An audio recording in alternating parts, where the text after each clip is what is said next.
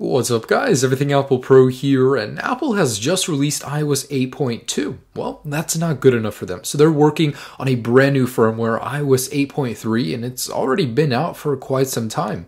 Now the newest version is iOS 8.3 Beta 3, and in this video I'm going to go ahead and do a review of iOS 8.3, everything we know about it, all of the features, how it is to use, how it runs, I mean, how is it, basically. I just want to tell you guys all about this firmware and what to expect. Now these are all of the iPhone models that will support the iOS 8.3 update from the iPhone 4S.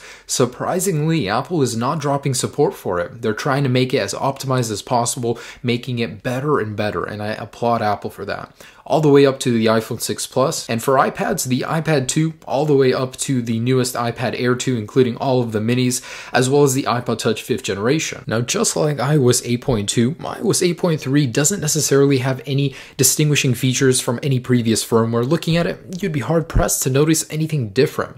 Now, of course, the new Apple Watch does come standard on iOS 8.3, and I just want to go ahead and show you I am running this brand new firmware right here.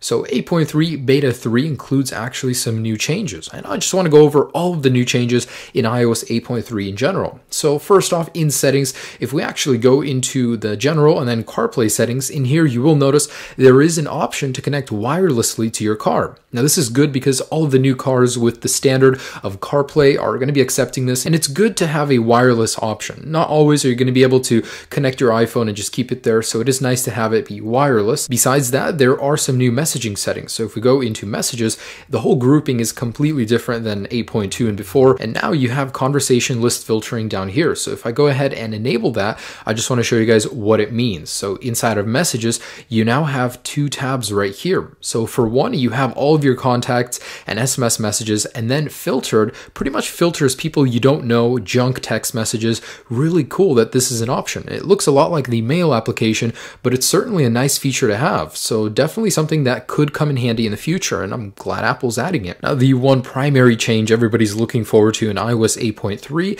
is the new set of emojis. So say I'm messaging someone and I want to add a new emoji. Not only is there a new selector, you can just swipe through all of the emojis just like this, and there's a bunch of new ones. And besides that, something really cool is the ability to change skin tone on certain uh, emojis right here. So let's say this police officer, if you actually change it to a darker skin complexion, it'll say that right there. And it turns to a standard dark one until you actually use it, select a different one. So really cool. You now have an option to do that on many of them, which is certainly a really nice feature. I personally don't use emojis a lot, but for people that do, this is a really nice thing to have. It gives you a lot of options on many different little icons. So certainly a very nice feature found in iOS 8.3. Now here's a change in the latest version of iOS 8.3 that I think everybody can appreciate. This is something that personally bugged me so much on iOS 8 and finally Apple Apple has created a solution. So let's take a look at the navigation bar. Say we're going to go somewhere and there's a problem on iOS 8 where the space and period button interfere with each other. The space button is super small. As you guys can see right here, on iOS 8.2 it's really small, whereas on 8.3 it's a lot bigger. You're definitely going to press the period button a lot less in error. So you have a wider space bar, whereas I'd always press space and click on this guy right here. It's really annoying. So I'm glad Apple has taken to that and created a solution in iOS 8.2 8.3 where the space button is wider. Now those are some major changes. We didn't see anything like that in iOS 8.2 so finally it's good to see Apple put in some work into new features.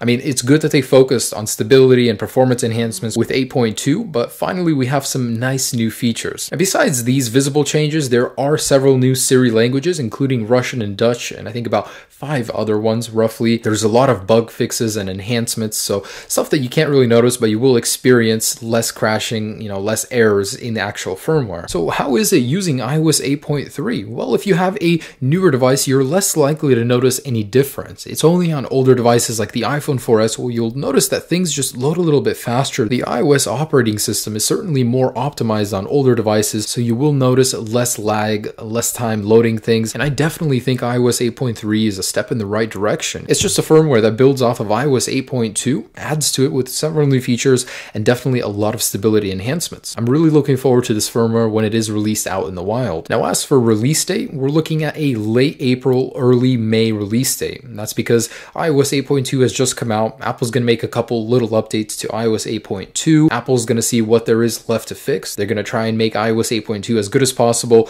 and then release iOS 8.3. So again, late April, early May is a projected release date. Now, as for the jailbreak, a lot of people are saying that the TaiG jailbreak team should hold off on an 8.2 jailbreak until 8.3 is out because they just want to be on the newest firmware with a new jailbreak, but ultimately it's kind of pointless because iOS 8.4 is already in production, iOS 9 as well. I mean, we're always going to be chasing that jailbreak. Why wait? I mean, it's a never ending chase pretty much. So, guys, that's just about it. Just wanted to let you know what iOS 8.3 was all about. Hopefully, in this video, I did help you guys understand what this new firmware does, what are the new features, and performance wise, definitely good. It is a little bit better, more noticeable on older devices, and I will be doing a full comparison, of course, in the future with the final release. So I hope you enjoyed this video, guys. Enjoy iOS 8.2 and eventually 8.3 when it is out. Peace.